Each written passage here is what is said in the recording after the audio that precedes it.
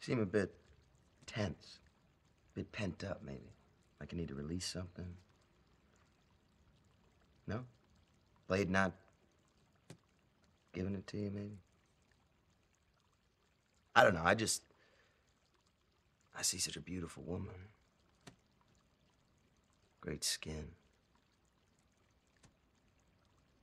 I'd like to see you happy, that's all.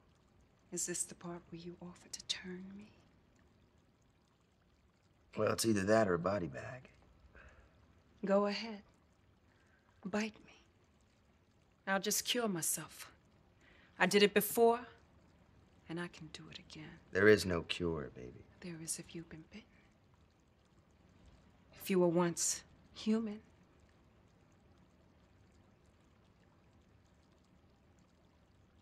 How'd you get that scar, Deacon? A born vampire would have the power to regenerate from birth. You must have gotten scarred before you were turned. Isn't that right? Vampires like you aren't a species. You're just infected. A virus, a sexually transmitted disease. I'll tell you what we are, sister. We're the top of the fucking food chain. The blood god's coming, and after tonight, you people are fucking history. He's a hurricane, an act of God.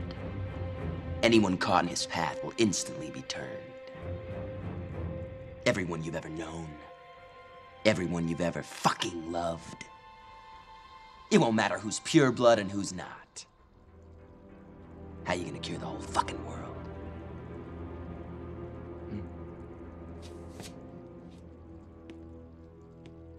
And Blade's blood is the key.